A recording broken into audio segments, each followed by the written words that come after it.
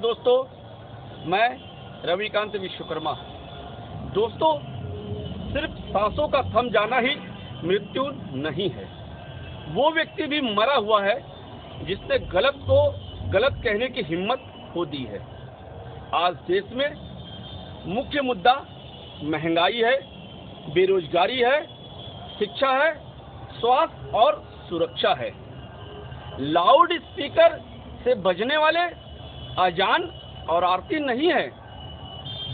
कुछ तथा कथित लोग लाउड स्पीकर के नाम पर मुद्दे से हटकाने का प्रयास कर रहे हैं। लेकिन जब तक हम जैसे समाजवादी हैं, हम लोग इन्हें हमेशा ही मुख्य मुद्दे पर घेरने का प्रयास करेंगे।